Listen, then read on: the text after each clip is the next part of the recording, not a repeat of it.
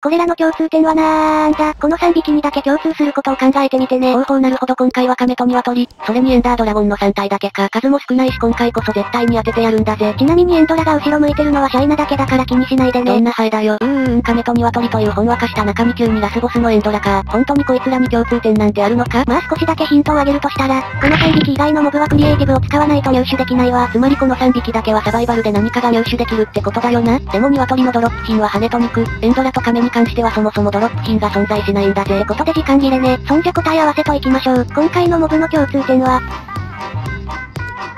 サバイバルで卵が入手できるモブ、でしたー。亀は繁殖時に卵を産み、鶏は5分おきに卵を産み、エンドラは倒した時に1回限りで卵が召喚されるわ。今回はちょっぴり難しかったけどみんなはわかったかな？わかった人はチャンネル登録して教えてくれよな。おすすめの動画をコメント欄に貼っておくからそっちも見てみてね。